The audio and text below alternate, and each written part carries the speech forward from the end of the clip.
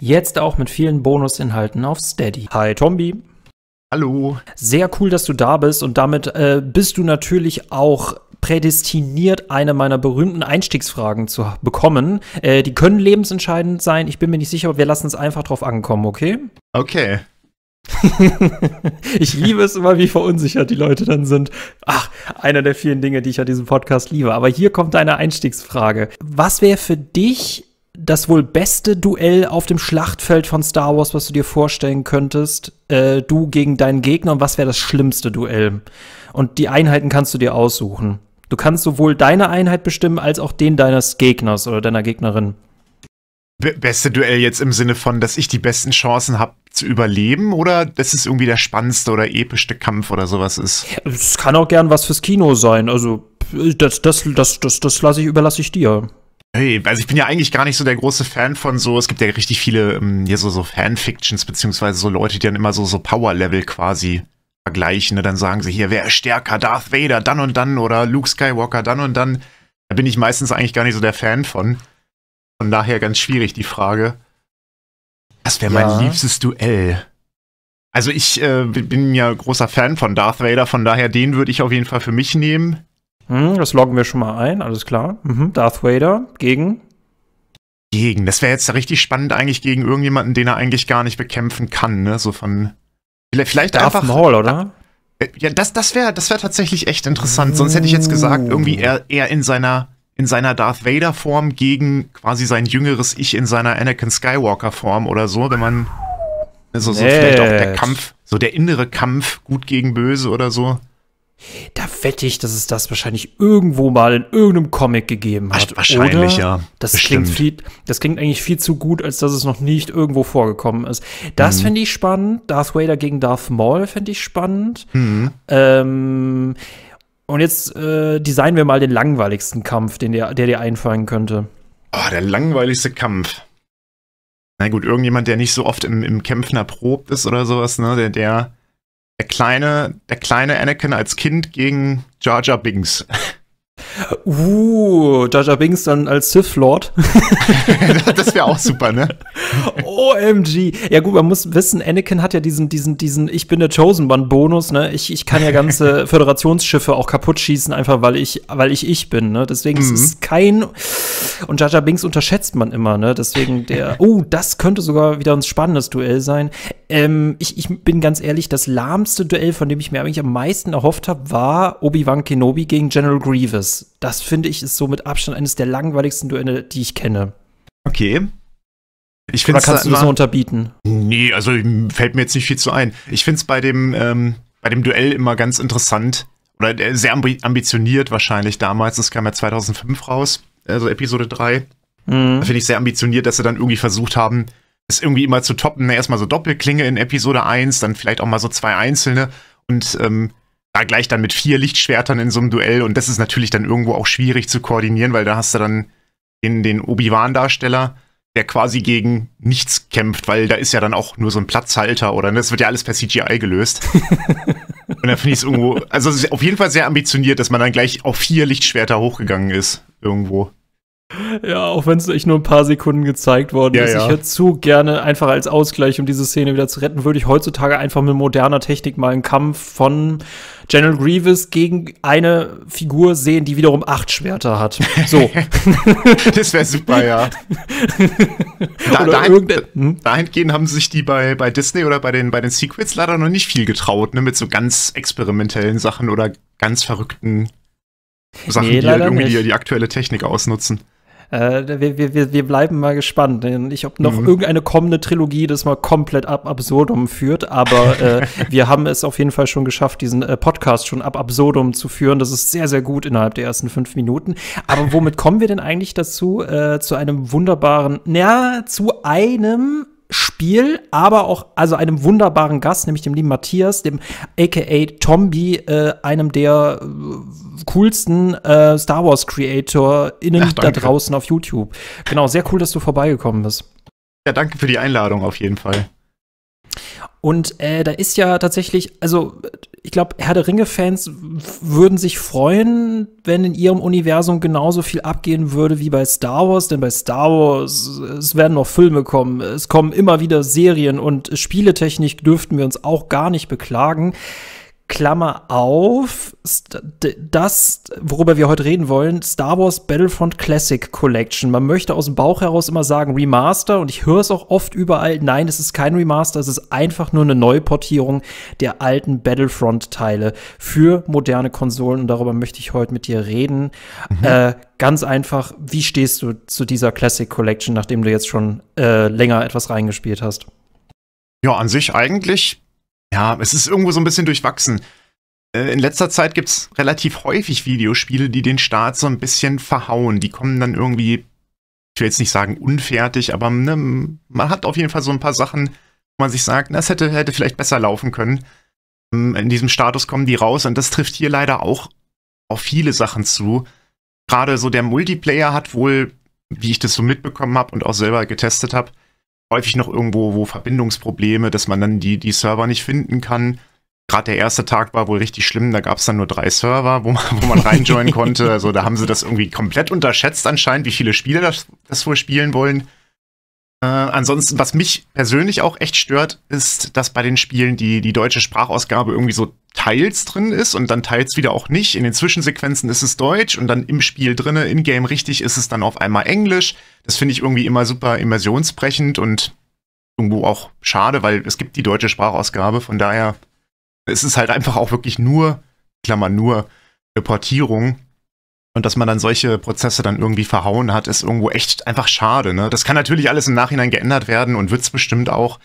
Aber irgendwo ist es immer schade, wenn der Start so ein bisschen daneben, daneben gehauen ist der erste Eindruck zählt, ne? Und es gibt mhm. Spiele, denen hat man das verziehen. Ähm, Multiplayer-Geschichten, das kann ich ja noch irgendwo verschmerzen, gerade was so Tonspuren oder so Sprachausgaben angeht. Das verstehe ich ehrlich gesagt nicht, warum sie das dann nicht fertig kriegen. Das wirkt so ein bisschen ne, äh, Dienstagnacht und Mittwoch soll's raus. Das hat dann so ein bisschen den Eindruck, das finde ich gerade schade, gerade bei so nostalgischen Titeln, wo wir noch mal als Fans übelst kritisch sind, was sowas angeht. Mhm. Ähm, das fand ich auf jeden Fall schon mal gutes Foreshadowing. Aber lass uns, bevor wir die äh, Collection jetzt im Detail sprechen, lass uns doch erstmal über das Original sprechen. Tommy, ganz wichtige Frage: Battlefront 1 oder Battlefront 2? Oder ist die Frage eigentlich unnötig? Nö, die Frage kann man schon stellen. Also es gibt schon ein paar Unterschiede bei den Spielen. Ähm, ich habe beide damals, als sie rausgekommen sind, tatsächlich auch gespielt. Jetzt wahrscheinlich nicht direkt bei Release, weil als Kind war man jetzt ja nicht, oder ich weiß nicht, ich war hey, da 13, 14 und da, da war man jetzt ja nicht hinterher und hat geguckt, irgendwie, wann kommt jetzt welches Spiel genau raus und dann hole ich mir das, sondern das war ja dann häufig verknüpft mit Geburtstagen oder mit Weihnachten oder sowas. Oder dann hat man das auf dem Pausenhof mitbekommen, da kommt, da ist irgendwie das neue Spiel und dann hat man das bei dem Kumpel mal getestet und dann hat man sich gesagt, boah, das hole ich mir auch oder so. Naja, auf jeden Fall ähm, fand ich damals immer den zweiten Teil besser ein, großer, ein großes neues Feature da drin war dann auch, dass man beispielsweise diese ganzen Helden- oder Schurkenfiguren selber spielen konnte. Das ging im ersten nicht. Da gab es die zwar drin, aber da sind die quasi so als ja, Begleiter oder halt Gegner halt durch die Gegend gelaufen und dann konnte man die halt abschießen oder halt mit denen zusammenkämpfen. Aber Wie selber spielen war halt denn? nicht, ne? Und das war, das war im zweiten Teil halt dann schon sehr cool. Hm, ich, ich, ich, ich, den ersten hatte ich mal damals auf dem PC gespielt. Da fand ich es irgendwie cool, dass du ja sogar teilweise so Hybride aus Raum und äh, Planetenschlachten hattest, ne, dass du in Fluggeräte einsteigen konntest, dann, obwohl mhm. du gerade im Nahkampf bist. Ähm, das, da habe ich irgendwie nicht so reingefunden und ich hatte auch irgendwie das Gefühl, dass das mag vielleicht falsch sein, aber vom Eindruck her war Battlefront für mich das erste, war sehr äh, Original-Trilogie und ich bin persönlich eher Prequel, weil ich mit den Prequels auch aufgewachsen bin und Star Wars Battlefront 2, wie du schon sagtest, man konnte die Heldinnen spielen, man konnte die Schurkinnen spielen und es war einfach äh, es war einfach großartig. Ne? Und das war auch das Spiel, was ich mehr gespielt hatte. Und das war natürlich dann cool, gerade so lokal Koop. Ähm, ne, mit Droiden gegen äh, Klontruppen oder umgekehrt. Und mein Kumpel hat immer diese blöden Droidikas gespielt. Ne? Es mhm. ist ja, oh, die sind so schlimm. Oh Gott, wenn du die anrollen siehst, dann schießt du schon alles drauf. Ey, schlimm. Schlimm, schlimm, schlimm, schlimm. Äh, äh, was war so für dich so, wenn du, magst du vielleicht 80.000 Momente haben, aber was war für dich so der allerbeste Moment äh, von Star Wars Battlefront 2? Das ist eine gute Frage. Also meine Geschichte zu dem Spiel ist allgemein ganz witzig, weil ähm, wie ich das Spiel kennengelernt habe oder wie ich überhaupt gemerkt habe, dass es rausgekommen ist, war so, ich äh, habe einen Bruder und äh, wir hatten uns dann immer getroffen, ich und mein Bruder mit den Kumpels halt so und da gab es einen Tag, da hatten wir dann damals, weil wir hatten den natürlich im Kino gesehen und dann damals die DVD zu Star Wars Episode 3 gekauft, das kam ja auch 2005, genauso halt wie das Spiel. Mhm. Und äh, bei dieser, bei dieser DVD war quasi eine Demo dabei von diesem Spiel. Und so haben wir dann überhaupt auch erst rausgefunden, so von wegen, ach was, guck mal hier, es gibt einen zweiten Teil von, von Star Wars Battlefront, wow, cool. Und ähm, den konnte man tatsächlich dann damals, es war auf der allerersten Xbox, den konnte man dann damals auch in dieser Demo schon so zu zweit an, an, einer, an einer Konsole quasi spielen. Und dann haben wir uns da immer abgewechselt, weil da war dieses, ähm, dieses dieser Raumschiffkampf dabei, wo man dann so zwei große Schlachtkreuzer hat und man konnte dann in den Flieger einsteigen und aufs gegnerische Schiff landen und dann da Systeme sabotieren und sowas. Und das fanden wir halt richtig, richtig, richtig cool. Das war auf jeden Fall auch so ein, so ein neues Feature, was dann im zweiten Teil dazugekommen ist, was es im ersten so nicht gab. Das ist halt vor allem, ne, das war halt vor allem mit den Filmen, die zu der Zeit rauskamen. Und ich glaube, das ist eigentlich der beste Move überhaupt gewesen, ne, dann nicht nur dieses Single, also keine Singleplayer-Spiel rauszubringen, beziehungsweise es gab auch ein Star Wars Episode 3 Spiel, was ich bis heute auch, ähm, das so ein bisschen Herr der Ringe Rückkehr des Königs mäßig ist. Also man spielt eine Figur eben durch die Kampagnenmission und dann kann man die aufleveln, also ein super cooles System. Äh, aber gerade Star Wars Battlefront 2, dass man seine eigenen Schlachten halt selber spielen konnte, das war so großartig.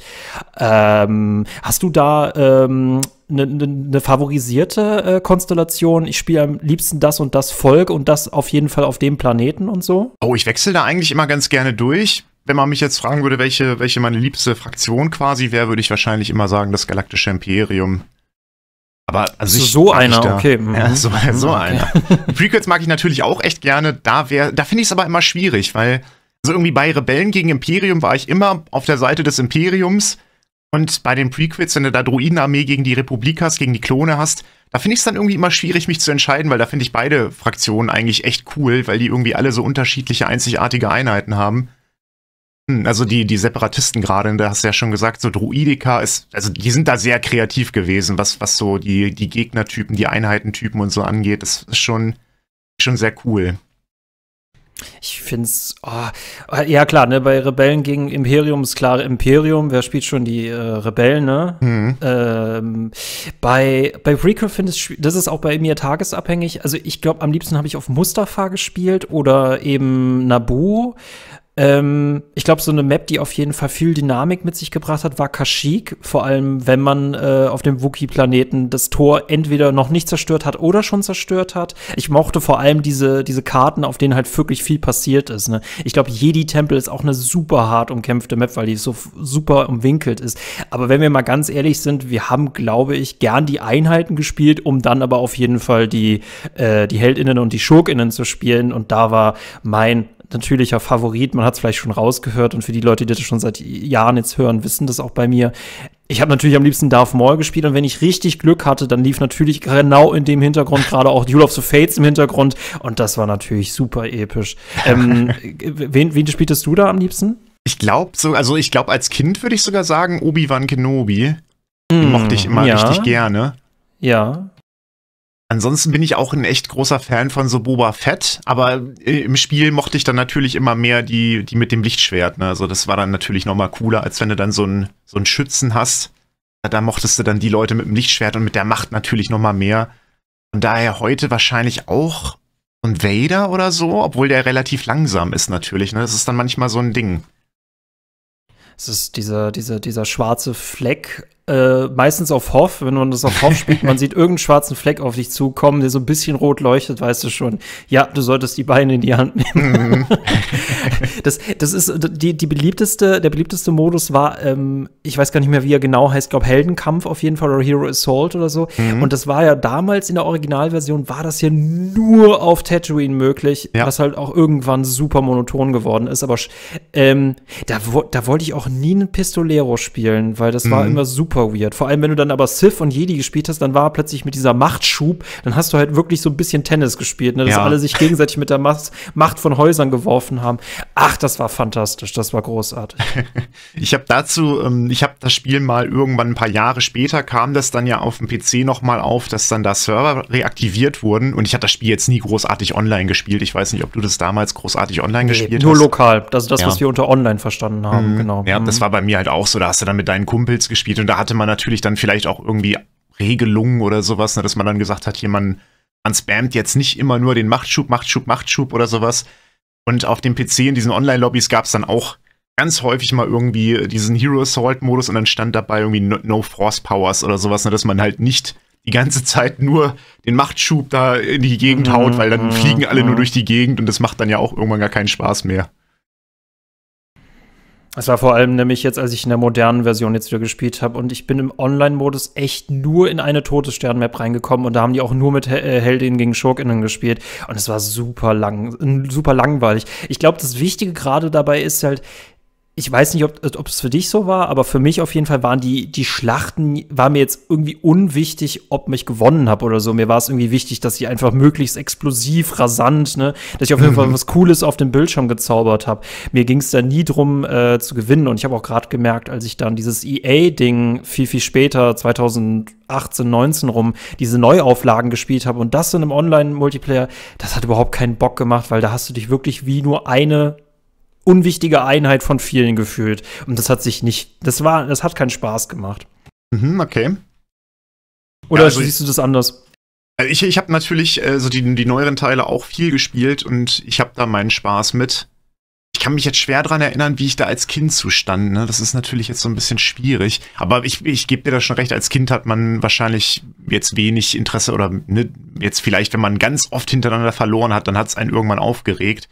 Oder wenn man da gegen den Kumpel verloren hat und dann hat der einen irgendwie so ein bisschen geärgert damit, dann wahrscheinlich schon. Vor allem mit einem Druidika, ey, boah, es ist so, oh nee, Druidika aber, hasse ich. Aber ansonsten stand da wirklich deutlich mehr so der, der Spielspaß an sich im Vordergrund und dass man da gerade mit seinen liebsten Figuren aus dem Film oder aus den Serien oder was auch immer dann halt irgendwie coole Schlachten hat, das stimmt schon, ja. Aber ähm, auch, ähm, dann bei den Neuauflagen, beziehungsweise ähm, da, da, kann man super schnell mit den Namen durcheinander kommen. Aber so diese neueren Battlefront-Teile, äh, da warst du dann doch tatsächlich, hast auch mal kompetitiv gespielt?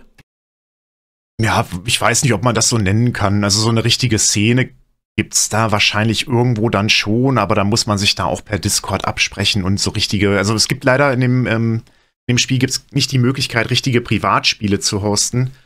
Das heißt, man muss da immer über Umwege das Ganze gestalten. Im, Normalfall macht man das dann so, es gibt da verschiedene Serverregionen und dass man dann eine Serverregion nimmt, die halt möglichst wenig gespielt wird. Meistens ist es, glaube ich, Dublin. Also es gibt einen extra Server, warum auch immer, für Irland, obwohl es dann auch irgendwie einen allgemeinen europäischen gibt. Ich weiß nicht genau warum. Auf jeden Fall, ich meine zumindest, dass diese ganzen Leute sich meistens dann sagen, wir stellen uns alle auf Dublin, suchen dann gleichzeitig und dann kommt man auch ungefähr, also recht häufig in diese gleiche Lobby rein so kann man das machen, habe ich jetzt selber nie groß gemacht, so richtig competitive. Irgendwo war das für mich immer so ein, so ein Casual-Spaß-Shooter-Ding. Und ja, also das hab, so habe ich es dann auch gespielt. Dürfte ich raten, bist du, glaube ich, auch im Shooter, wenn du überhaupt Shooter spielst, bist du, glaube ich, auch eher Battlefield als Call of Duty, oder? Ja, das hat sich irgendwann irgendwie so ein bisschen gewandelt. Ich weiß nicht. Früher, ganz, ganz früher, ähm, war es dann bei, bei so LAN-Partys, da habe ich dann also da gab es halt Battlefield vorher, da habe ich dann sowas wie 1942, also das allererste Battlefield ein bisschen gespielt. Battlefield 2 habe ich viel gespielt. Dann ähm, so online richtig habe ich Battlefield 3 und 4 gespielt, aber halt auch irgendwo Modern Warfare 1 als auch Modern Warfare 2 und Black Ops und sowas. Also irgendwo habe ich da beides mitgenommen und hat beides auch Spaß gemacht. Ich weiß nicht, mittlerweile sind irgendwie, also Call of Duty ist meiner Meinung nach momentan sehr auf dieses Battle Royale, wie heißt denn das da, Warzone? Ja, ja, ja, Warzone. Mhm. Da, da ist es sehr drauf fokussiert irgendwie und damit, weiß ich, so Battle Royale kann ich mittlerweile irgendwie nicht mehr viel abgewinnen. Das hat eine Zeit lang sehr viel Spaß gemacht, aber mittlerweile ist das dann auch viel, du musst da so viel Zeit investieren und dann hast du mal mhm, eine gute ja. Runde und das, ja, irgendwie motiviert mich das nicht mehr, ich weiß nicht. Ja, ich finde es halt interessant, also wenn du sagst, dass, dass, dass, du Multiplayer-technisch mit dem Star Wars Battlefront Spaß hast, würde ich das eher so in die Battlefield-Richtung zählen, weil man ja gemeinsam als Team gegen eine andere Dings kämpft und bei Call of Duty hatte ich immer das Gefühl, deine Teammitglieder sind eigentlich nur Köder für die Leute, gegen die du kämpfst, ne? damit, damit du die anlocken kannst, damit du halt möglichst hohe Killstreaks machen kannst. Also das ist mehr so ein, so ein Solo-Krieg, äh, äh selbst beim Team-Deathmatch und bei Battlefield ist es wirklich eine Gemeinschaftsarbeit. Mhm. Äh, und alle wollen den Helden spielen natürlich oder die Schurken, wie auch immer. Ja. Ähm, äh, ich muss was ich halt wirklich episch fand, waren, ähm, das hat es jetzt schon, schon angesprochen, also die Landschlachten fand ich halt mega cool, äh, vor allem aber auch die Raumschlachten fand ich halt mega cool. Und eine zu den coolsten Moves gehört es natürlich, ins gegnerische, ins gegnerische Schiff zu fliegen und dort eines der Schiffe zu mopsen oder einfach nur ins gegnerische Schiff zu fliegen und da halt alles von innen zu zerstören. Ne? Ich denke ja. mal, das sind auch deine bewährten Taktiken gewesen, ne? Ja, absolut. Also ich war immer großer Fan davon, dann halt ins, ins gegnerische Schiff reinzufliegen. Irgendwie so das von außen kaputt machen ging natürlich auch. Aber irgendwo war das, war das natürlich cooler, wenn er dann ja, richtig irgendwie rasant versucht, mit so einem coolen Manöver direkt in den Hangar reinzufliegen. Häufig ist man dann natürlich auch direkt an, an der Hülle zerschellt oder irgendwo ja, typisch. In, innen drinne irgendwo reingecrashed. Aber manchmal sah das dann halt echt cool aus. Da bist du richtig schnell, möglichst nah an diesem Eingang dann auch äh, ausgestiegen und dann direkt rein und irgendwo die Sprengsätze platziert. Während der andere dann, wenn er das vielleicht im geteilten Bildschirm gespielt hat, das natürlich mitbekommen hat, schnell versucht hat zurückzufliegen oder so. Ach, das war schon, war schon schön.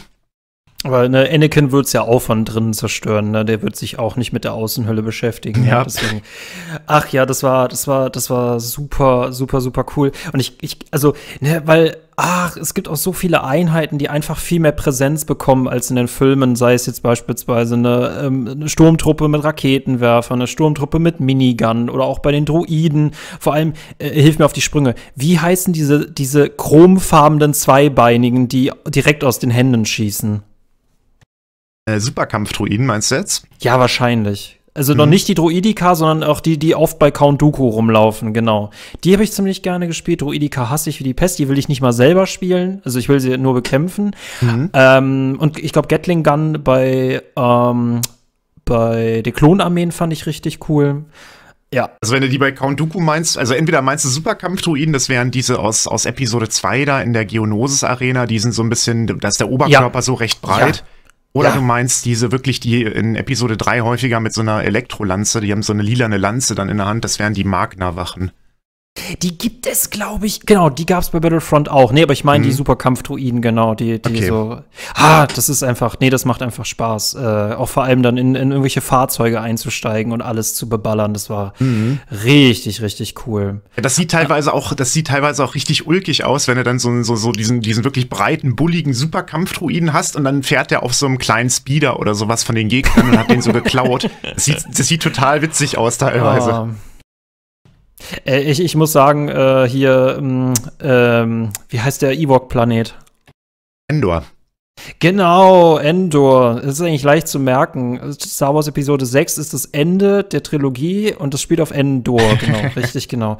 Ach, ähm, äh, hier mein Co-Podcaster, der heute nicht dabei ist. Sebastian ist absoluter Fan von Hoff. Äh, hat diese Schlacht wahrscheinlich schon auf sämtlichen Videospielen x-mal auf beiden Seiten durchgespielt. Ähm, meine Frage an dich, was ist denn der liebste Schlacht im Star Wars-Universum? Jetzt mal unabhängig davon, ob du sie selbst gespielt hast, sondern auch vielleicht auch nur, mhm. nur zugesehen hast. Da habe ich auch dann wieder eigentlich mehrere Antworten, denn ich würde das eigentlich, oder ich unterteile das immer ganz gerne in so, in so Raumschiffschachten. Also wo dann irgendwie im, im Space, hier im Weltall irgendwo gekämpft wird mit Raumschiffen oder halt irgendwie eine Kampfstation angegriffen wird und dann halt diese Bodeninvasion. Mhm, bei, diesen mhm, Bodeninvasionen wäre es bei mir tatsächlich auch die, die Schlacht um Hoth. Also ich fand das als Kind sowohl auch immer cool, als auch wenn man sich das heutzutage, da gibt es teilweise natürlich dann so, so Dokumentation oder sowas mit Behind-the-Scenes-Kram. Wenn man sich das anguckt, wie die teilweise diese, diese AT-80 Walker oder diese kleineren AT-ST Walker per Hand dann natürlich irgendwo immer so, so einen Millimeter ver versetzt haben, ne, das Beinchen so ein bisschen höher und dann kommt äh, hier Bild, Bild gemacht und dann kommt er da wieder aus der Luke raus und muss das so ganz penibel nochmal so einen kleinen Millimeter nach vorne und geht wieder in die Luke runter und Bild gemacht. Und da gibt es dann natürlich auch Werte, wie viele Bilder, wie viele Einzelbilder das waren und wie viel das dann so per Motion Capture quasi so hintereinander äh, geschnitten wurde da. Ähm, also das ist, das ist schon fantastisch. Also das sieht heute auch natürlich irgendwo, man, manchmal sieht man das, aber es sieht heute auch noch echt gut aus und ich, ich, ich liebe diese Schlacht einfach. Bei diesen äh, Raumschlachten, da finde ich es wiederum ein bisschen schwieriger. Und ich tendiere da mittlerweile tatsächlich zu der aus äh, Rogue One. Da gibt es ja am Ende diesen, diesen Anflug auf Scarif, also auf diesen Planeten, wo dann diese Kommunikationszentrale ist, wo sie dann da irgendwie mhm. alle hinwollen am Finale. Und da haben sie ja dieses große Schildtor, was so über dem Planeten schwebt. Und das wollen sie ja aufkriegen. Und dann gibt es da Momente, also ich liebe diesen einen Shot, da kommen so ja, gefühlt 100, 200, 300 TIE Fighter auf einmal aus dieser Station so rausgeflogen. Und das sieht so unfassbar fantastisch aus. Also optisch sind die, sind die Sequels da, finde ich tatsächlich, oder diese, diese neueren Disney-Filme, da tatsächlich echt gut, was, was so diese Raumschlachten angeht. Das sieht optisch einfach wirklich super aus. Ja, fühle ich. Ich hab, war gerade wieder da, als du das beschrieben hattest. ich glaube, glaub, mein liebstes, liebstes Duell ist tatsächlich äh, Darth Maul gegen ähm, Qui-Gon Jinn und Obi-Wan, wobei mhm. ich sagen muss, äh, Episode 3 Anakin gegen Obi-Wan ist für mich das Duell, das das nochmal auf jeden Fall getoppt hat. Das vor allem auch von den Musiken, die mit eingeflossen sind und wie lang mhm. dieser Kampf auf jeden Fall geht. Ich find's lustig, du kannst diesen Kampf übrigens in Star Wars Episode 3 in dem Singleplayer-Spiel, kannst du diesen Kampf aus beiden Perspektiven spielen und du kannst ihn sogar mit Anakin gewinnen.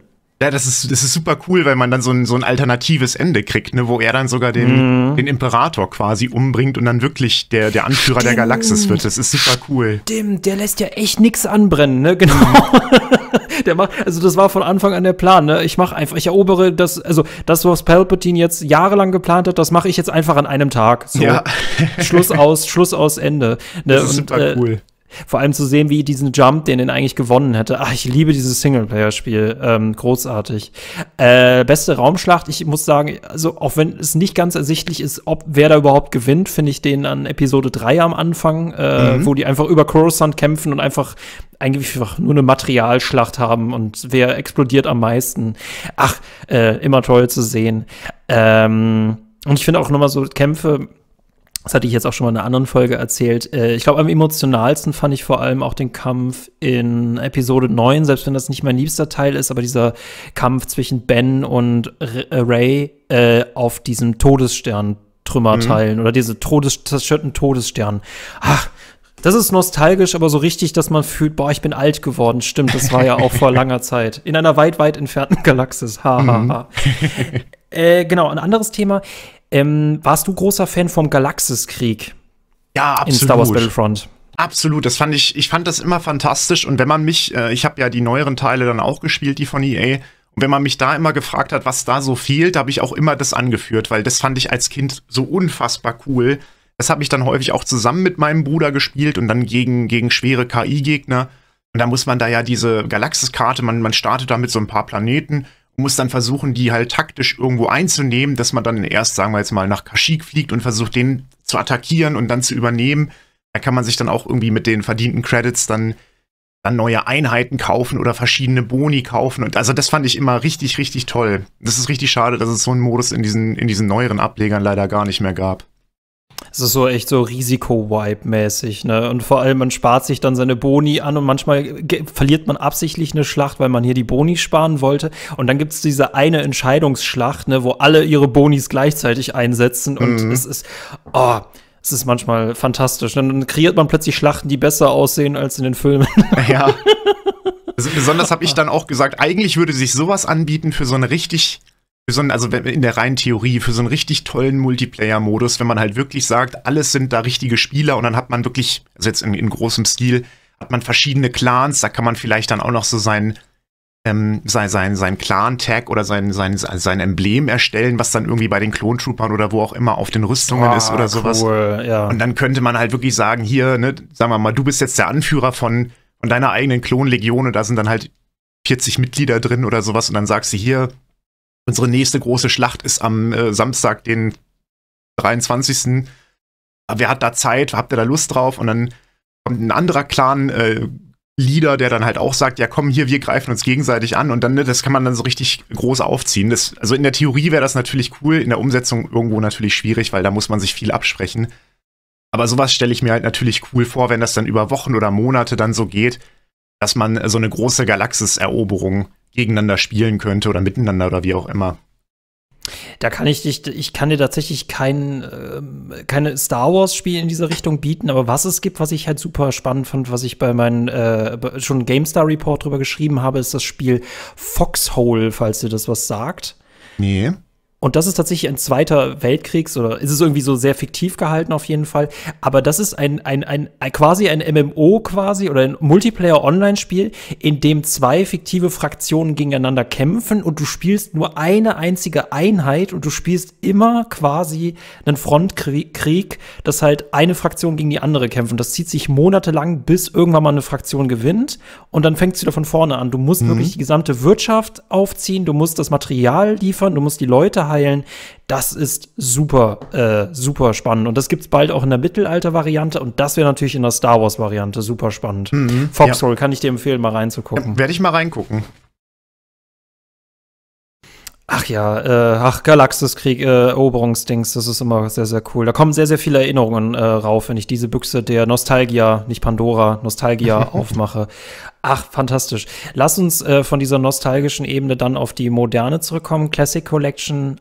Ähm, es ist irgendwie nicht das Gleiche. Vor allem, wenn mein Bruder sitzt dann, mein Bruder sitzt nicht neben mir. Es ist nicht das, was du schon beschrieben hast, ne? Und dann möchte man in Online-Multiplayer reingehen und die haben halt servertechnisch sich nicht auf diesen Ansturm vorbereitet, was ich nicht verstehe, weil ganz ehrlich, es ist eines der beliebtesten Spiele von damals gewesen.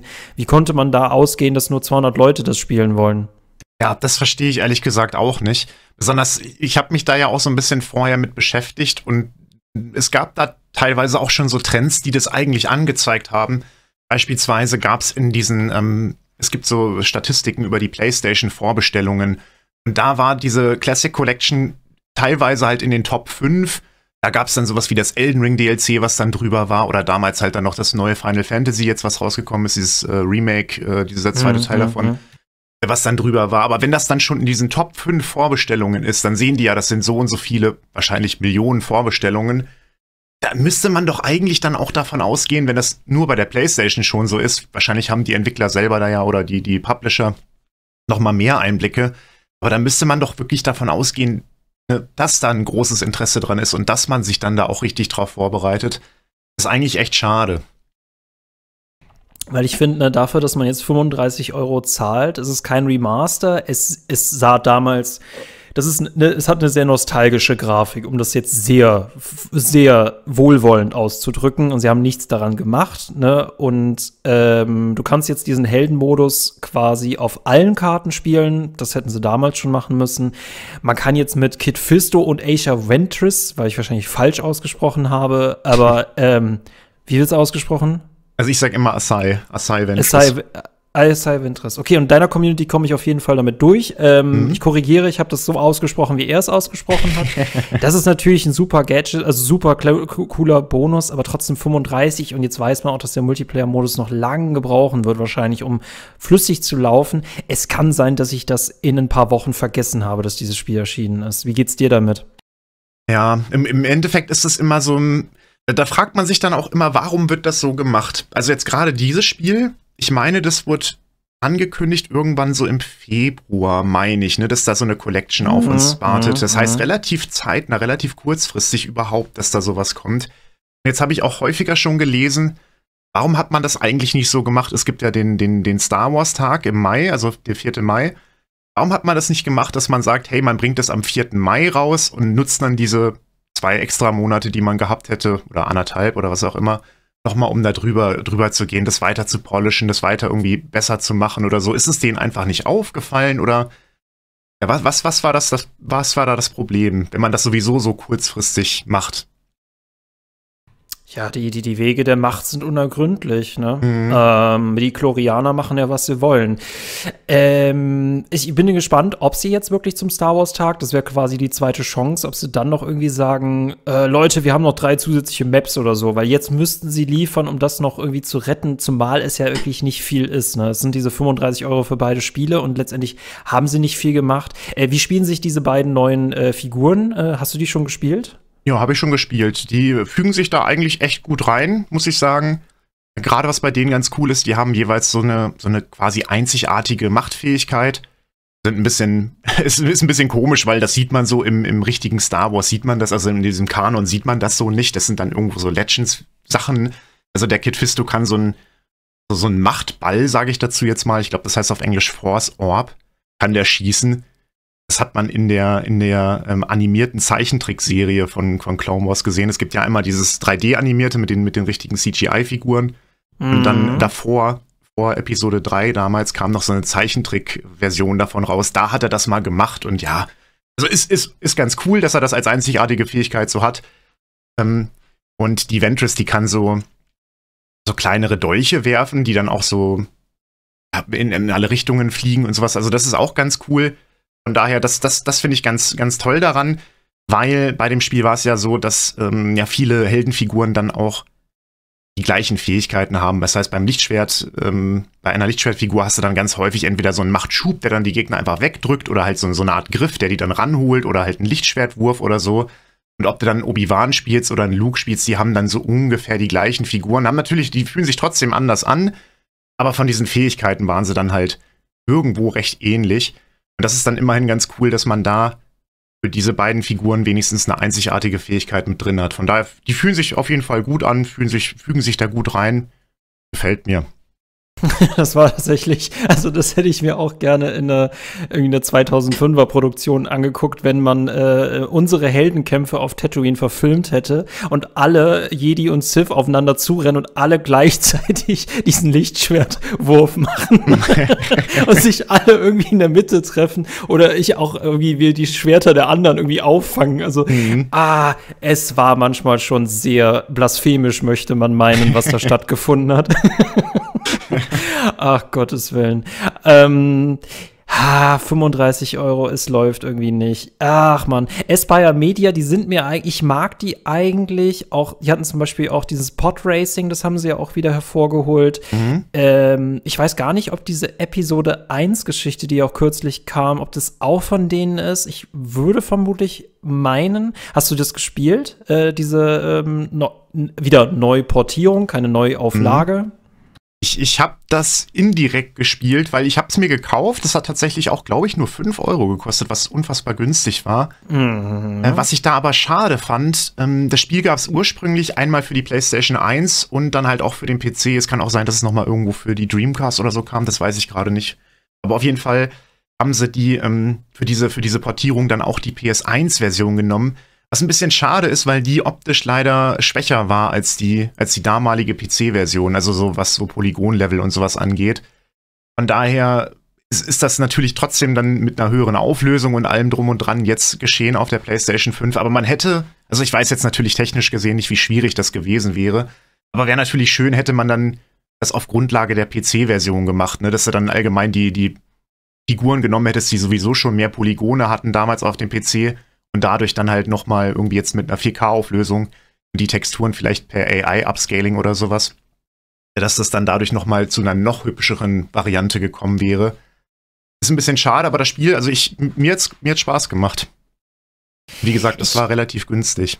Ah, es ist meine liebste Episode, nostalgisch gesehen. Ich finde drei mhm. auch gut. Zwei verliert einfach immer gegen in allem irgendwie. Ähm, ah, das ist das Problem, wenn man das nicht damals gespielt hat, dann, dann, dann tut man sich mit der Grafik super schwer. Das gleiche Problem habe ich irgendwie auch bei Oblivion. Ich sage euch allen, spielt nicht Skyrim zuerst, weil dann könnt ihr nicht mehr Oblivion spielen. Ihr seid dann einfach zu sehr verwöhnt. Und dabei war es auch so, ich, ich finde es cool. Ich bin da steuerungstechnisch noch nicht so ganz reingekommen. Ich will es auf jeden Fall spielen, weil ich es cool finde, dass vor allem der Teil äh, Single-Dings bekommen hat. Äh, und das ist auch ein cooles Mode. Ne? Für 5 Euro äh, meckert man nicht. Ne? Je teurer ja. das wird, desto kritischer wird man. Ja. Ähm, wie, wie, wie, stehst du, äh, bist, bist, du bei, bist du bei Podracern äh, aufgehoben gewesen oder war das nie dein Genre?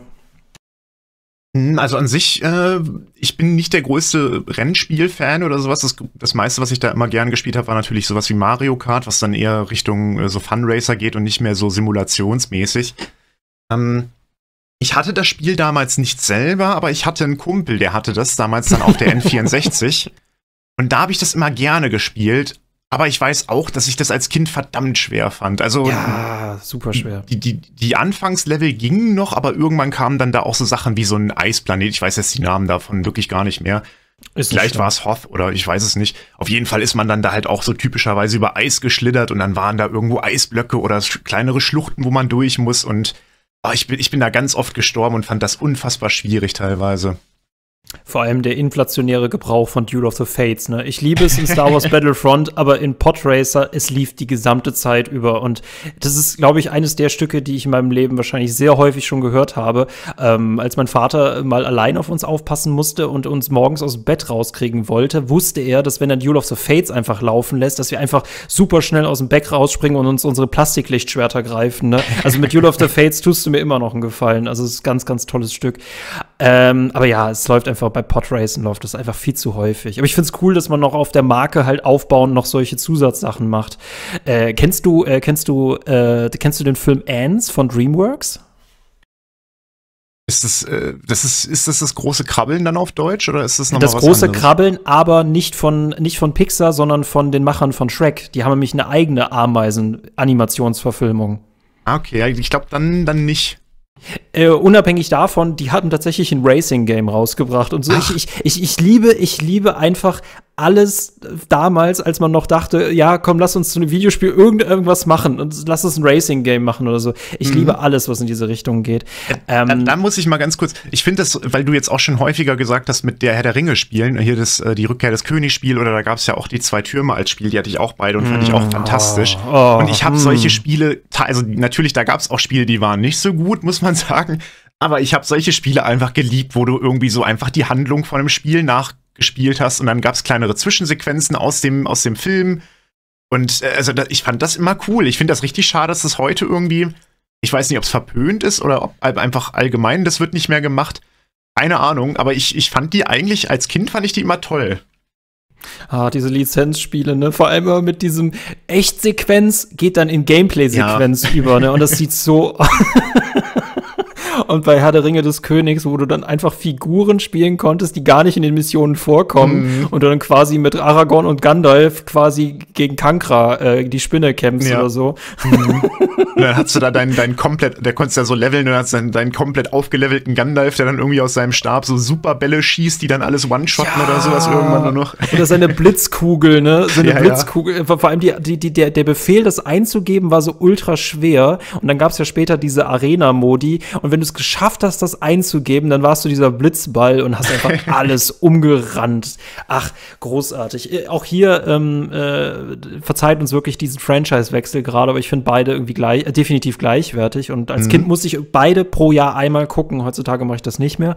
Aber hier äh, Schlacht um Mittelerde 2, ähm, auch da, äh, auch diese ganzen Schlachten, die man dann nachspielen konnte, auch die, mhm. vor allem diese Heldinnen, die man selber basteln konnte es gab eine Zeit, da haben wir Herr der Ringe technisch und Star Wars technisch wurden wir echt gut beliefert. Aktuell ist es nur Star Wars, wenn ja, ist die Frage, ne? Krieg Schatten von Mordor und Krieg von Mordor. Hast du die gespielt? Die, ja, also ich, die letzten guten ich. Herr der Ringe Spiele. Mhm. Ja, ich wollte gerade sagen, das Gollum-Spiel kam dann auch noch und dieses Moria-Spiel jetzt letztes Ach, Jahr, ne? Aber ja, oh wei, gut, darüber. Oh wei, oh wei. Mhm. Da, da, schweigt man, glaube ich, lieber drüber. Mhm. Ähm, Nee, aber die beiden Spiele habe ich gespielt, die fand ich auch echt, äh, echt sehr cool. Die haben sehr viel Spaß gemacht. Und auch, wie du gesagt hast, hier Schlacht um Mittelerde und sowas. Also irgendwie so im, im Bereich so Jahr 2000 bis Jahr 2010, so in, diesem, in dieser Spanne, da gab es wirklich unfassbar viele Spiele, sowohl zu Star Wars als auch zu Der Herr der Ringe. Und das war, also das war, war schon super. Kennst du Zeit. Galactic, äh, Galactic Battlegrounds? Ja, aber das habe ich leider damals nie gespielt. Und ich, ich würde das heute gerne spielen. Ich habe auch schon mal, ich habe mir das Spiel gekauft und habe auch schon versucht, da irgendwie Patches oder sowas zu finden, die das auf heutige Grafik hoch upgraden, aber gibt's leider nicht so in der Form. Ähm, das ist ja so, so eine Art, ich sage jetzt mal ganz gerne so Age of Empires 2 oder Age of Empires von der Optik her in, in diesem Star Wars-Stil. Und da gibt es ja dann, ich, ich glaube, man kann da auch die Gangans zum Beispiel spielen ja, als Fraktion ja, und so. Großartig, also das, das ist schon großartig. super. es, ist so, es ist so lustig bei, äh, ich gucke, ich, eigentlich muss ich dazu mal einen Report schreiben. Es ist, das habe ich damals, ein Kumpel hatte aus irgendwelchen Gründen oben hatten die neben dem Schlafzimmer hatten die ein Büro mit drei PCs, wahrscheinlich weil der Vater irgendwie was mit PCs zu tun hatte, keine Ahnung. Und das hat sich natürlich immer für LAN-Partys, also spontane LAN-Partys halt angeboten, ne? Die mhm. dauerten dann vielleicht mal so zwei Stunden oder so. Da, das war auch so ein Spiel, was dabei vorgekommen ist. Also, ne, der beste Kumpel hatte ein Spiel, das war quasi damals unsere Art unsere Art Game Pass damals. ne? Genau, und dann hatten wir Battlegrounds gespielt und ah, es, es, es, mag jetzt vielleicht nicht gut sein, ne, aber ich liebe einfach sowas, dass es einfach so um, um, uminterpretiert wird und dass man auch mal die Gangans spielt, weil mhm. ich finde es bei den Filmen halt immer so schade. Wir kriegen immer nur eine Sicht auf diese Filme und es ist einfach viel cooler, in einem Spiel halt dieses, gesamt, dieses gesamte Universum nutzen zu können. Für eigene Zwecke, ne, für eigene äh, Momente. Mhm.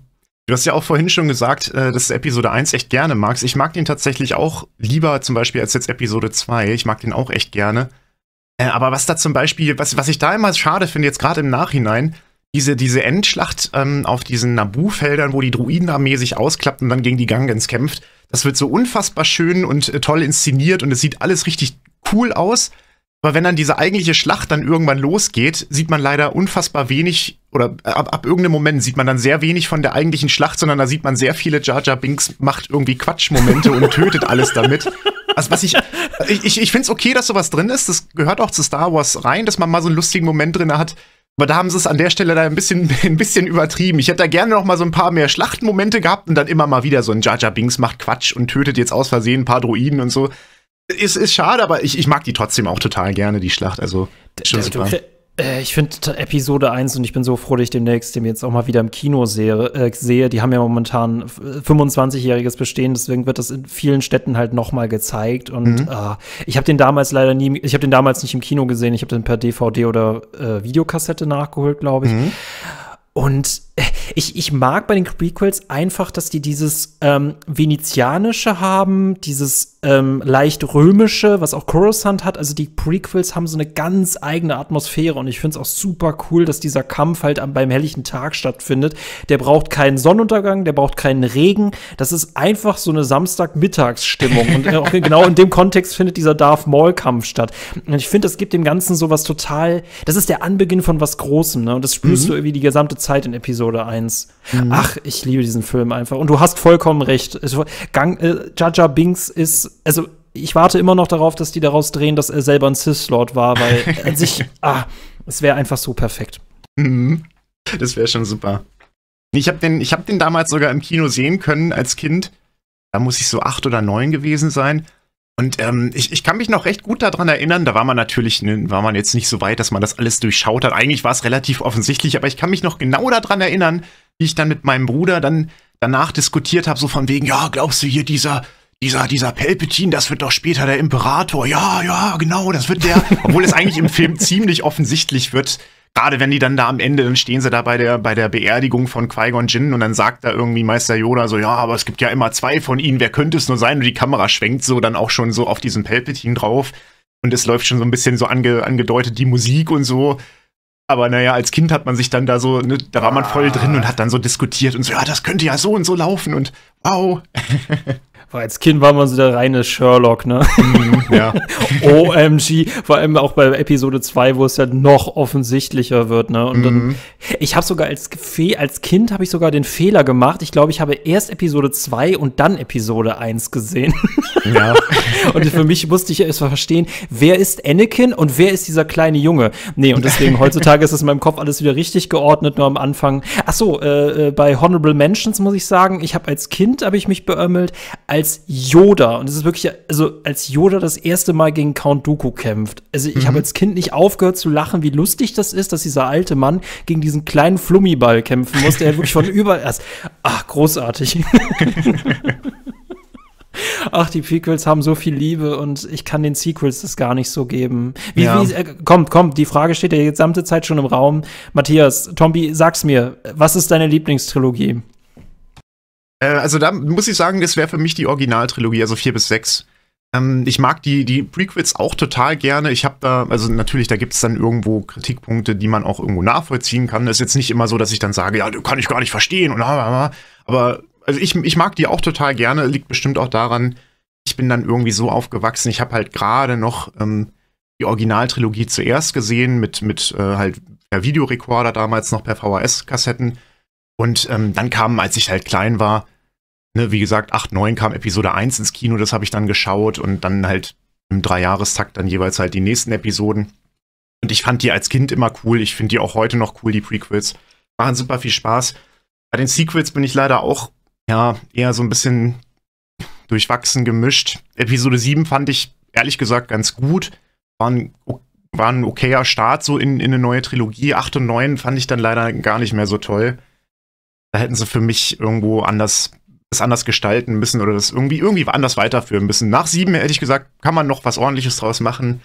Acht und neun, dann, hm, naja, und wie wir schon gesagt haben, sie haben uns immer noch nicht den Kampf zwischen Grievous und irgendeiner anderen Figur, die acht Laserschwerter hat. Also deswegen, dann genau. kann das gar nicht schon äh, Dings. Ich finde faszinierend, dass du auch so eher ein Original-Triologen-Fan äh, bist. Ich, mhm. ich, ich, ich bleib bei Prequels einfach, weil die, äh, die werden mittlerweile mehr geliebt, weil einfach die Sequels den Hass jetzt abkriegen.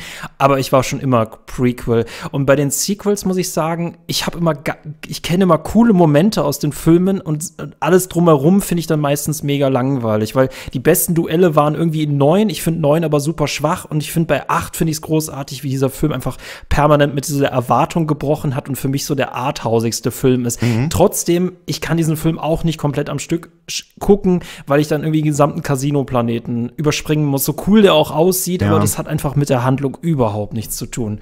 Sondern ist halt nur reines CGI-Fest, ne? Boah, wollt ihr mal sehen, was wir heute drauf haben? Ja, nicht das mit den acht Laserschwertern, das haben wir immer noch nicht drauf, aber wir haben diesen mega fetten Casino-Planeten.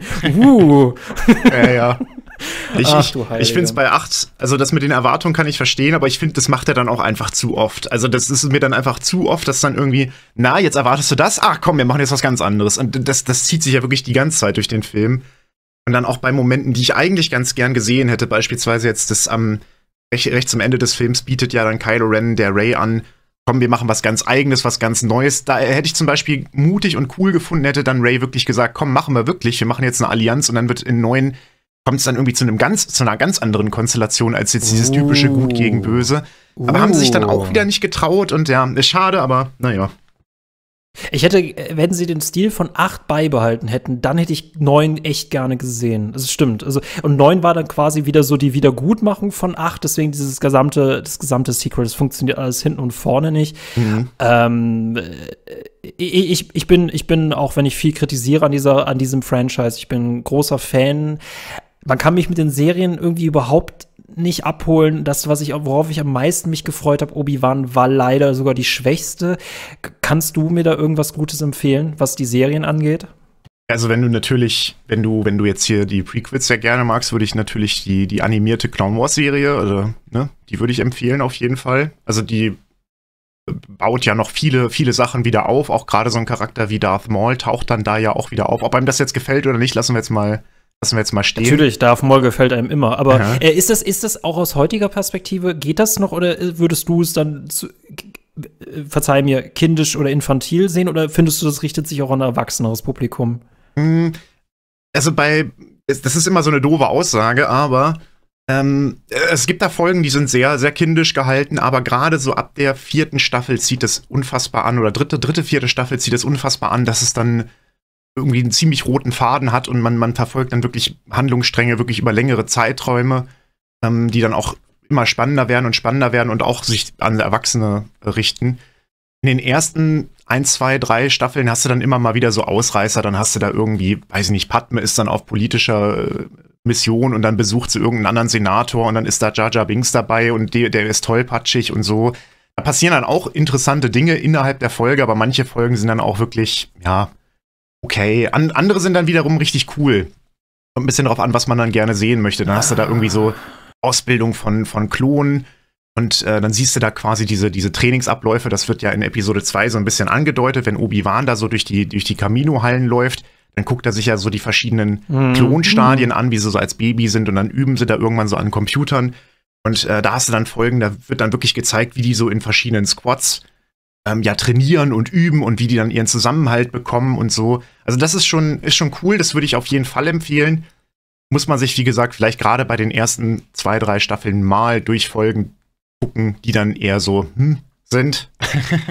Aber sonst äh, ist die Serie super. Also gerade dann ab der dritten, vierten Staffel, die läuft insgesamt sieben Staffeln. Und ähm, ansonsten, was sehr hoch gehalten wird, ich glaube, das ist auch momentan so mit das erfolgreichste bei Star Wars, ist halt äh, The Mandalorian, ne? Ja, äh, wir hatten auch schon in einem anderen Talk, wurde mir jetzt äh, Andor empfohlen. Mhm. Äh, Mandalorian wird wieder kritisch gesehen, je nachdem, nach welcher Staffel, weil es mhm. schlechter, besser oder nie gut war oder so. Ähm, ich finde deinen Ratschlag äh, bezüglich Clone Wars, Michael, äh, quäl dich du die, durch die ersten drei Staffeln und dann schau, äh, also dann wirst du die mit der vierten belohnt oder überspring die ersten drei und dann fang mit der vierten an. Das nehme ich mal so mit. Mhm. mhm. Obwohl da Quäl, so Quälen schon ganz schön hart ausgedrückt ist, muss man auch sagen. Also es kommt ein bisschen drauf an, natürlich, wie, wie resistent oder wie, wie, wie anfällig man bei sowas ist. Ob man jetzt sagt, ach, was gucke ich mir hier gerade an oder ob man dann sagt, ach komm, die eine Folge nimmst du mal mit, auch wenn sie jetzt nicht so dolle war oder so.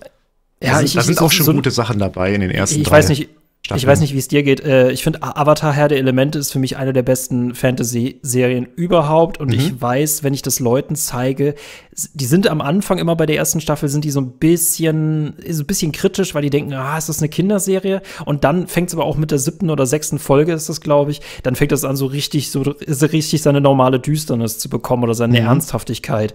Und bis zu der Folge muss ich durchhalten. Wenn du dann sagst, die ersten drei Staffeln sind so ein bisschen durchwachsen, bevor es mit der vierten episch wird. Ja, das nehme ich mit. Das ist eine ehrliche Einschätzung dazu. Mhm. Ja, aber wie gesagt, äh, kommt, kommt auch mhm. ganz drauf an. An andere Leute wird es direkt ab der ersten Folge abholen. Aber es ist halt, ist halt so eine Frage, wie, wie man da drauf ist ich bin auf dieses Accolade, bin ich echt gespannt, wo die Leute jetzt schon sauer sind, dass äh, die Folgen alle so kurz sind, wo ich mir denke, Leute, Qualität über Quantität, mal ganz mhm. ehrlich. Ne? Ja, auf jeden Aber Fall. ich, ich, Witz, wo du es erwähnt hast, möchte ich noch einmal über diese wirklich Episode 2 sprechen, dass wir uns mal auf der Zunge zergehen lassen, dass das eigentlich im, in einem Zentrum einer der wesentlichsten Handlungspunkte ist, dass wie bei einem Amazon-Paket, dass die, äh, die Empfangsadresse einfach nicht mehr aktuell ist und Obi-Wan auf Camino hinfährt und sagt, ja, sorry, Auftraggeber ist tot, aber Sie können mir das gerne an Coruscant schicken. dass das eigentlich streng genommen ja. das große Problem mit Camino ist, dass die nicht wussten, wer gerade der aktuelle, äh, der, was die aktuelle Empfangsadresse ist. Mhm. Äh, ja, sonst wenn Obi-Wan nicht hingegangen wäre, was hätten die dann mit der Armee gemacht? Wäre die ja, dann gelagert worden oder was? Ja, gute Frage.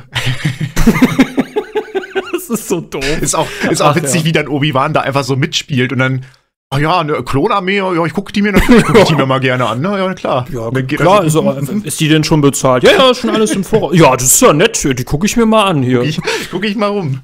Also Sie, Sie, können doch ein Interview mit demjenigen haben, den wir eigentlich geklont haben. Ja, klar, wenn mich das gerade weiter. Es ist. Ach, Episode 2. Man muss Episode 2 eher als Comedy-Serie sehen. Dann, dann funktioniert dieser Film viel, viel, viel besser. Ich finde es so unglaublich, wie viele Memes auch aus dem Film stammen. Ne? Und, ja, aber da, da sind die Prequels ah. sowieso top. Ne? Also diese ganzen ah. Prequel-Memes, die sind schon verdammt ah. witzig. Also man, man ja. darf das auch alles manchmal nicht zu ernst sehen oder. Ah. Ne? Es ist, es, ist ich, ja ich, ich finde ich find einen der Momente aus 8 ganz toll, wo, ähm, wo Luke ich, ich, ich glaube, Luke zündet, zündet diese alten Jedi-Schriften an und Yoda sagt als Geisterform nur so zu ihm, ist er auch nur ein ganz alter, sind er auch nur alte Wälzer. Oder alte, alte Wälzer, die es sind. Und ich, das finde ich, das finde ich jetzt auch einfach mal sehr bodenständig, dass die immer, weil die alles so brutal ernst nehmen, dass die dann auch mal sagen, ja, unser Job ist auch manchmal einfach nur total skurril und absurd. Großartig. Ähm, äh, Tommy, hast, hast du, Matthias, hast du noch gerade irgendwas, äh, äh, woran du mich, woran du die Community teilhaben lassen möchtest? Irgendeine Spieleempfehlung, irgendein Lieblingszitat, irgendwas Star Wars-mäßiges, weil das passt jetzt hier, glaube ich, noch rein. Uiuiui, ui, ui. das ist ja eine gute Frage. Da stellt Frage. er Fragen, da stellt ja, er böse Fragen. Oh, sorry.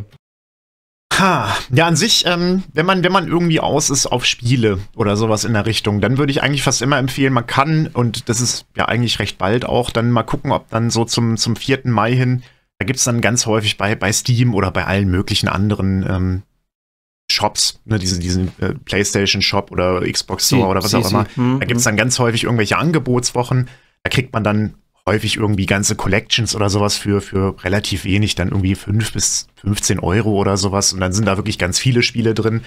Und ähm, ja, man kann da mal reingucken. wenn man, wenn man dann den, den Fünfer oder den Zehner übrig hat. Denn es gibt äh, ganz häufig auch irgendwelche älteren Spiele, jetzt auch beispielsweise diese Star Wars Battlefront Classic Collection oder halt dementsprechend dann den, den ersten und den zweiten Battlefront-Teil. Die, da, da lohnt sich mal reinzugucken. Auch gerade nur, wenn man mal vielleicht den Singleplayer anspielen möchte oder so, ob jetzt ne, diese neue Collection für, für 30, 35 Euro gerechtfertigt ist, das stelle ich jetzt mal in Frage. Aber mhm. ne, wie gesagt, wenn man diese Angebotswochen mal abwartet und dann mal so ein bisschen guckt, da kann man auf jeden Fall häufig mal irgendwas, irgendwas Cooles finden und dann, ne, wie gesagt, wenn man da einen Fünfer oder einen Zehner ausgeben muss, da wird man schon seinen Spaß mit haben, denke ich. Äh, Yoda, das hätte nicht besser sagen können. ähm, was mich jetzt noch kurz interessiert, einfach nur, damit wir den, damit wir wirklich über alles quasi geredet haben in einer Stunde. Ähm, Fallen Order, ja oder nein?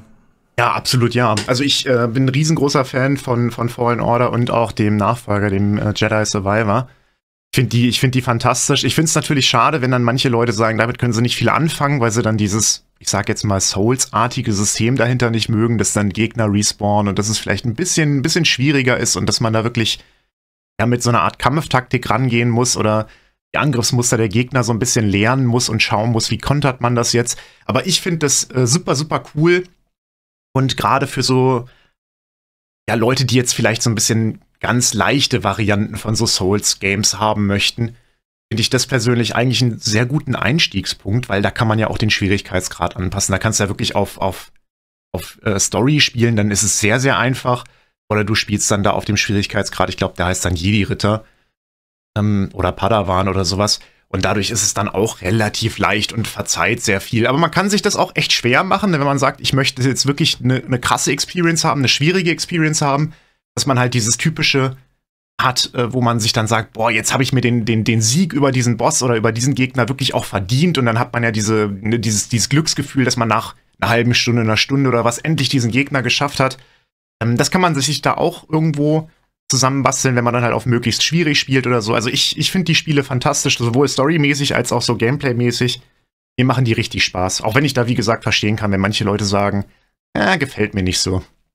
Ich, ich sag, dass die brillanteste Idee war wirklich gewesen, Dark Souls mit Star Wars zu kombinieren. Diese Kämpfe liebe ich in diesen Spielen wirklich. Woran es mich eher stört, ist dieses Uncharted. Ähm, sagt man Backtrigger, beziehungsweise, dass du halt wieder auf Planeten musst, weil du neue Fähigkeiten hast. Diese Art von Erkundung, das stört mich immer so ein bisschen. Ich würde mhm. am liebsten alles auslassen und denke mir dann immer, wenn ich dann wieder zurückkommen muss, ah, weiß ich nicht. Aber mhm. ich muss sagen, kampftechnisch stimme ich dir absolut zu und äh, vielleicht nehme ich deinen Rat auch einfach. Jetzt habe ich einfach heute eine riesige Liste an Ratschlägen bekommen, äh, dass ich mit der richtigen Perspektive diese Werke vielleicht besser verstehe. Mhm. Äh, danke dafür, äh, Meister. Ja, bitte sehr.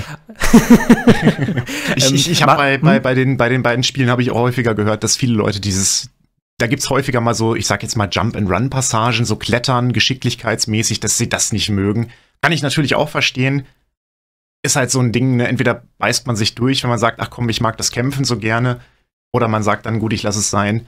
Aber auch jetzt so ein Fallen Order wird man wahrscheinlich, wenn es im Angebot ist, auch für irgendwie 10 Euro kriegen, denke ich mal. Also einfach mal abwarten. Und man kann ja mal reingucken, vielleicht gefällt es einem, vielleicht gefällt es einem nicht, wenn man denn das Geld dafür hat, für einen Fünfer, für einen Zehner reinzuschauen ja, ansonsten einfach mal irgendwo Gameplay angucken und schauen, ach, gefällt mir das oder gefällt mir das nicht, ne?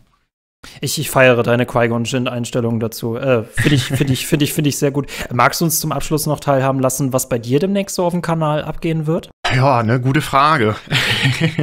also ich bereite mich natürlich ganz stark auf äh, Star Wars Outlaws vor. Das wird ja jetzt das, das kommende Ubisoft-Spiel werden. Stimmt, stimmt. Da habe ich richtig, richtig Lust drauf. Da wird auch viel ja, gemunkelt, dass es relativ bald dann irgendwo richtig, einen richtigen großen Trailer nochmal gibt oder neue Informationen mit einem großen, ja, vielleicht dann hoffentlich endlich Release-Datum oder so, ne? Dass man dazu dann irgendwie noch mehr Informationen bekommt. Wer weiß, wer weiß. Also ich denke mal gerade dann auch, also die nutzen das ja häufig aus mit dem Star Wars-Tag, dass man dann bis dahin oder vielleicht auch an dem Tag dann irgendwie groß, nochmal einen großen Trailer kriegt oder wie gesagt, das Release-Datum kriegt oder so. Da habe ich natürlich richtig Lust drauf. Ansonsten eigentlich alles rund um, um irgendwie Star Wars Gaming. Jetzt gerade natürlich die, die Battlefront Classic Collection. Da werde ich äh, ordentlich noch was zu machen. Ja, ansonsten einfach mal schauen, was so, was so kommt. Ich gucke auch ganz häufig mal in irgendwelche Modifikationen oder sonst irgendwas rein, die dann noch mal so ein bisschen was umstellen. Jetzt beispielsweise auch bei, bei Jedi Fallen Order oder äh, Jedi Survivor, dass dann da irgendwie noch mal verschiedene Gegnertypen dann an, an ganz anderen Plätzen sind oder sowas in der Richtung. Das macht auch immer wieder Spaß. Äh, ich bin jedes Mal dankbar, wenn mich jemand daran erinnert, dass Outlaws ja noch kommt. Ich vergesse mhm. es jedes Mal und ich muss permanent von Leuten daran erinnert werden. Was daran schön ist, das kommt ja von äh, äh, Massive Entertainment. Mhm äh, von den Division-Machern und die kennen sich halt auch einfach mit Third Person super aus. Deswegen, das ist auf jeden Fall in den richtigen Händen, da habe ich Bock drauf. Danke für die Erinnerung. Richtig, ne, um, rund um den 4. Mai ist die Marketingmacht an diesem Tag wirklich sehr, sehr stark. Ne? Mhm. Die, Macht, die Macht ist stark bei diesem. Ähm, und deswegen äh, bin, ich, bin ich noch gespannt. Also ich, ich verfolge das gerne äh, mit großem Interesse. Und äh, Tombi, es war mir ein Riesenvergnügen, dass du da warst. Komm bitte, bitte wieder. Ja, gerne. Also es hat super viel Spaß gemacht, mit dir hier zu reden. Leute, denkt dran, wir haben auch eine, wahrscheinlich eine kleine Mini-Themenwoche und wir werden alle äh, CreatorInnen, die wir dafür bekommen haben, also sowieso schon mit denen über Star Wars geredet haben, die werden wir einfach nochmal nerven, dass die bitte zur Star Wars Themenwoche auch wieder vorbeikommen. super gerne. Und vielleicht hat, vielleicht hat Tombi bis dahin auch Battlegrounds äh, schon äh, zum Spielen gebracht. ja, das wäre super, groß, ne? Ach, großartiges Spiel. Aber danke auf jeden Fall auch da nochmal für die Erinnerung, da würde ich echt gerne noch einen Report zu machen. Leute, wenn ihr das auf YouTube gehört habt, bitte hinterlasst einen Like, einen Kommentar, lasst uns an euren Star Wars Vergangenheitskind Kindheitserinnerungen teilhaben. Was habt ihr damals auf dem Sofa mit euren Lieblingsschlachten erlebt? Was war euer liebstes Spiel?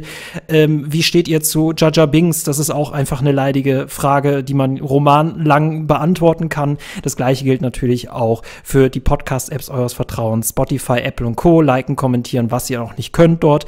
Und denkt dran, ähm, wenn ihr noch nicht auf unserem Discord wart, kommt uns dort gerne besuchen für coole Diskussionen. Und wir haben ein super tolles Bonusprogramm mit super vielen Zusatzformaten. Für Minimum 5 Euro im Monat geht es los. Alle Leute, die hinter der Paywall sind, schon so übelst glücklich und würden sich freuen, wenn ihr auch dazu kommen würdet. In diesem Sinne, es würde in keinem Podcast besser passen als in diesem. Der Kuchen sei mit euch. Ciao. Tschüss.